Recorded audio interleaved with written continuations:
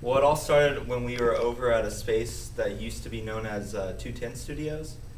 And um, we were about to get kicked out of there. And so we, but we really wanted to continue having a community centered art space. Um, so we had a benefit show, and it was pretty much like we were selling artwork for like $20, and, and, and a lot of people pitched in, and it was a great turnout. And so um, we enough money to go toward a new space, and so we spent the next three months, um, you know, kind of exploring our options and, and, and looking for um, something that we would be comfortable with. And um, so eventually we found this space, and, and it worked out perfectly to our needs. And um, so we rented out the space, we painted the walls. Um, we had a, our opening show probably about three weeks ago, and um, it was a great success. success. Um, I think around 300 people showed up, and so we got really excited. And, and so our next show, which was this past Saturday, we had a call for entries, and it was juried by um, art, the artist and professor at Texas State, Tommy Fitzpatrick.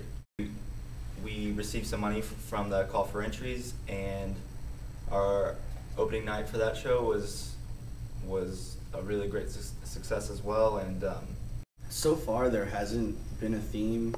Um, like this show that's up right now was juried by Tommy Fitzpatrick, so we made it available to everything, and he basically went through all the entries and picked what he wanted in the show, and it worked out really well.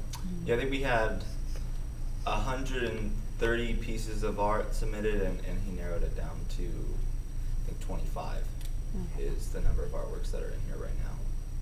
You know, really, we, we want to be a community-based um, art space. We, we want to benefit the community, and, and um, that's something that San Marcos doesn't really have right now. Is is something that people can look forward to having their work shown in, and I think, well, I know that we're only the only contemporary art space in San Marcos right now, and you know, Yeah. re- really, we just want to. Um, to build a contemporary art community in San Marcos because we have all the, you know we, we have a great art school and um, we're right in between Austin and San Antonio and you know eventually we would like to be the bridge between those two cities you know and um, you know we're, excited about the whole I think process. eventually Austin and San Antonio are all going to want to come to San Marcos and be in our art scene.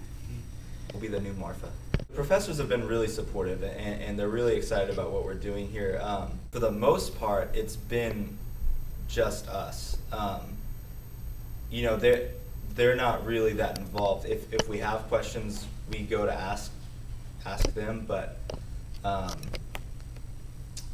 the majority of it has really been us figuring things out, on- out on our own. One thing is that unfortunately schools don't really teach the business aspect of being an artist, which, um, you know, in my mind, 50% of it is making good work, and the other half is knowing how to present yourself and put yourself out there. And, and um, you know, so when people graduate with an art degree, they don't really know what to do or how to go about becoming an artist. And so this has been really great for us to, you know, learn learn a different aspect of, of being an artist.